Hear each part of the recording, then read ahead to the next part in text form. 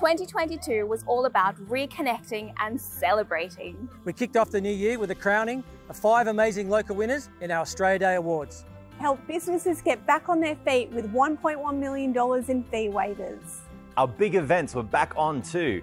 Like our epic 10 day Play Manly Festival, Taste of the Beaches, Manly Jazz, and many more. We welcomed over 700,000 swimmers to our aquatic centres. And our team of lifeguards kept an estimated three and a half million swimmers safe across our beaches.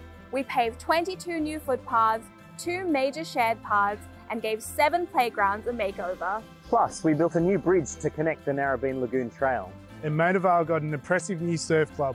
Our libraries piloted 24 7 access and loaned more than 1 million items. Our childcare educators took care of 1,500 local kids across our nine centres. We gave the environment a lot of love by planting 3,000 new native trees for National Tree Day. And powered all our sites with 100% renewable electricity. Our arts and creative community have been busy too. With over 200 finalists exhibited in the Northern Beaches Environmental Art and Design Prize. And put on 273 shows at the Glen Street Theatre. And of course, we can't forget to thank our volunteers. Who have helped with Meals on Wheels, our library services and bush care.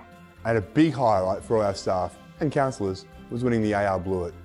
Well, that's just some of what we achieved in 2022. I do hope to see you at one of our events to close out this year.